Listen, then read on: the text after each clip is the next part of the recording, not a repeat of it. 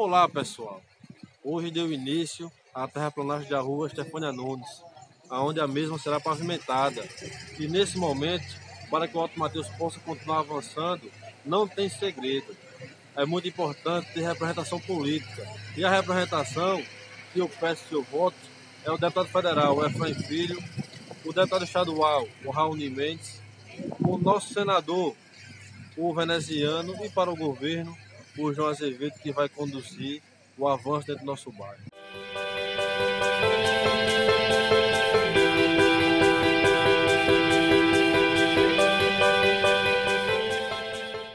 O deputado ligou para mim, disse, seu, seu baixo, a máquina caiu, eu disse, pá, não está vendo a zoada, não, eu disse, estou vendo.